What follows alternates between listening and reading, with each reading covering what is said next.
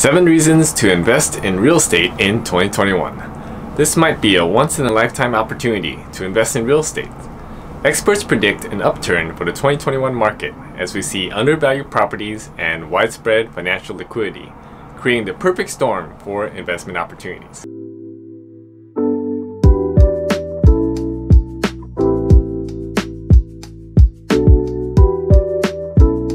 My name is Duc Ong and I'm a multifamily syndicator. In this video, I'm going to share 7 reasons why you should consider investing in real estate this year. Before we do that, make sure to like, subscribe, and click on the notification bell. Reason number 1. COVID has created new real estate investing opportunities. COVID has changed one real estate fundamental forever. Before COVID, many long-term investors focused on investing in areas with strong employment. The thinking was that strong employment attracts people. More people equals higher rent, and higher rents result in higher property values. Nowadays, people are more inclined to work from home, the office, or anywhere really. This was happening even before the pandemic. COVID accelerated this transition for both employers and employees. There has been a rapid rise in remote work, and this is opening up new opportunities for savvy real estate investors. Employees are moving away from urban centers to more affordable rental markets, making it possible to still enjoy a good quality of life while saving on rent. More people are working from home. Employees who used to commute daily to their office often chose to live within a reasonable distance of their employer. Those same employees may never visit their office in 2021, or they may be required to show their face only a few times a month. Location independence has arrived, and remote workers can live hours or even states away from their place of business. A 2020 survey by PricewaterhouseCoopers found that 24% of executives expect that many or all of their employees will remain remote after the pandemic. This phenomenon is one of the main causes of the exploding real estate prices in the suburbs. Migration patterns are changing. Remote work is a trend that is here to stay. Many Americans are starting to gravitate to places with lower housing costs where they can afford larger homes and enjoy a better quality of life. It seems likely that migration out of pricier metropolitan areas is going to continue for many years to come. This current lifestyle migration creates an incredible opportunity for investors to capitalize on areas that were previously known to have lower long-term appreciation new investment opportunities abound in locations once thought to have little investment potential. Reason number two, more inventory is coming. I know what you're thinking. There isn't enough inventory already. How am I going to find properties to buy? Well, the good news is that inventory is due to increase and the opportunities to buy these properties won't be limited to rural areas. In addition to creating new migration patterns, the global pandemic has also pushed the US economy into a recession impacting businesses and costing jobs for everyone. While this recession hasn't impacted the real estate market yet, there's a chance it will be in the near future. Jobless benefits expiring. The $300 per week federal unemployment benefits under the COVID 19 relief bill are set to expire September 6, 2021, with no current plans to extend it. This extra money is keeping some American households afloat. The resulting reduction in household income will impact families who are already struggling to keep up. We can expect this will cause more borrowers to start missing mortgage payments. Housing inventory is likely to increase as more families are forced to sell to avoid foreclosure. Extensions on forbearances are expiring. There are currently more than 2.7 million homeowners in forbearance on their mortgage. This doesn't even reflect private mortgages that are not insured by Fannie Mae, Freddie Mac, and Ginnie Mae. A forbearance is when a borrower has an agreement with the mortgage servicing company to suspend payments for a period of time. This is traditionally done for emergency short term situations like illness and job loss. The current government backed mortgage forbearance eliminates any requirements for the borrower to show hardship to qualify, which means that there may be more homeowners in forbearance than is financially necessary. Looming forbearance balances. Forbearance balances, the total amount of money homeowners deferred paying under forbearance agreements, may become a nightmare for some homeowners. For example, if a borrower asked for forbearance in March 2020 and extended it until September 2021, they would have accrued 18 months of missed payments. The reason this situation can become a nightmare for the homeowner is that at the end of the agreed forbearance period, the suspended payments are due in one of three ways. 1. Lump sum payment. The borrower must pay the entire amount or missed payments all at once. Most people who don't have the cash on hand to pay their mortgage payment won't have the ability to pay the balance on the forbearance either. 2. Short-term repayment plan. The forbearance balance is divided up and added as an additional monthly charge on top of the regular mortgage payment until the balance is paid. For example, if the forbearance balance is $18,000, it could be divided up over 24 months by adding an additional payment of $750 to a family's monthly mortgage payment. This is a better option than the first one, but only a few will have the income to afford to increase their monthly payment. 3. Loan modification. This is a change to the terms of the loan in any number of ways, including extending the repayment period, lowering the interest rate, or even reducing the loan balance. A loan modification may sound like a good solution to the looming foreclosure balances, but financial institutions tasked with collecting mortgage payments will want to ensure that borrowers have the ability to repay their loans. Loan modification may not be a viable option for millions of travel, entertainment, and food service workers who have been laid off and who are now seeking employment in a much tighter job market. The moratorium on foreclosures will eventually end. It was obvious to everyone that if nothing was done, the mandatory quarantine that started in February 2020 was going to push many Americans into a financial crisis. In March 2020, the Trump administration issued a moratorium on foreclosures for all government backed mortgages. Since then, the Biden administration has extended the moratorium through June 2021. Fortunately, most borrowers are still in their forbearance period and lenders are not filing for foreclosure. However, it is still unclear how large the backlog of foreclosures will be once the moratorium is lifted.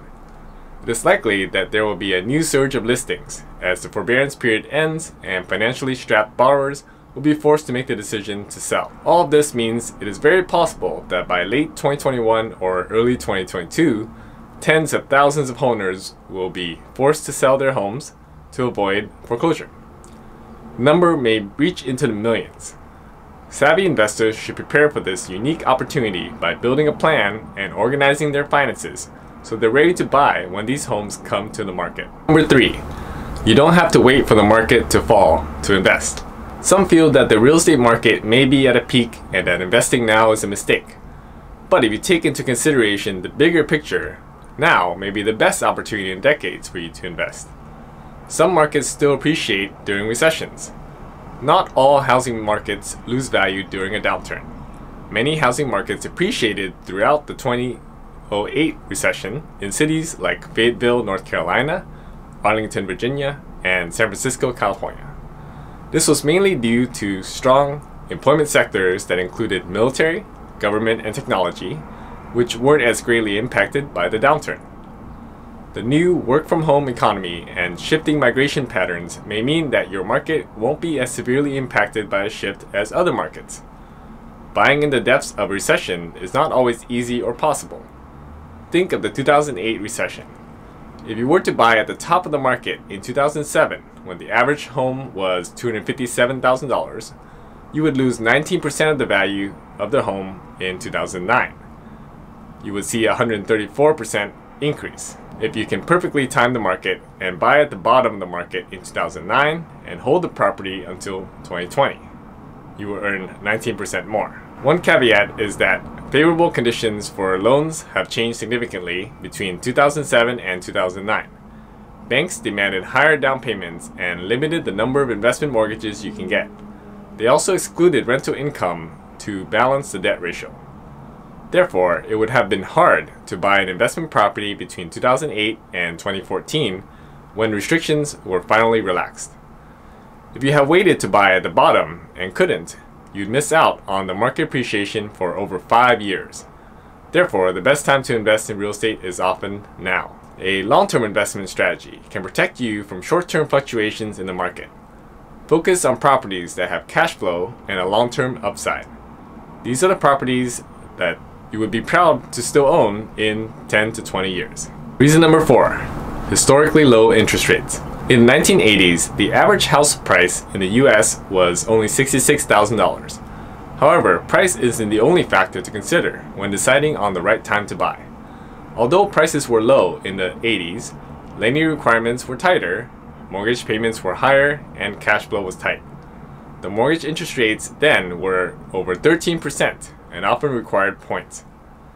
Fast forward to today, where interest rates are below 4%, investor qualifications are still very favorable and cash flow can still be found in remote areas.